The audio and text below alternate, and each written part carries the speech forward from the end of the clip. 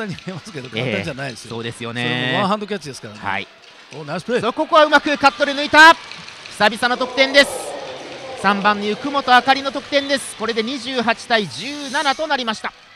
押村君はこういう状況前半から作りたかったですね、えー